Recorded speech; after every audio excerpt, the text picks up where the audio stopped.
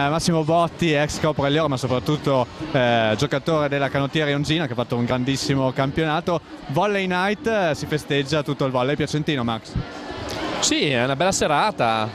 Non c'ero mai stato, è la prima volta che vengo partecipo come ospite. Devo dire che è un evento che raccoglie un po' tutto lo sport, la pallavolo piacentina, giovanile, maschile e femminile e devo dire che sono contento di vivere questa serata. Eh, eh, meriti anche di essere premiato eh, come giocatore della canottiera Ionzina promossa in B1, lo ricordiamo. Sì, è stata una bella stagione, coronata con, con, un grande risultato, siamo contenti di rappresentare Monticelli e Piacenza in B1 il prossimo anno. Un risultato ottenuto all'ultima giornata. Sì, un po' rocambolesca, però è andata bene. Penso che alla fine ce la siamo meritato perché abbiamo lavorato sodo tutto l'anno e, e alla fine avevamo qualcosina in più degli altri. Il prossimo anno ci sarà ancora Massimo Botti?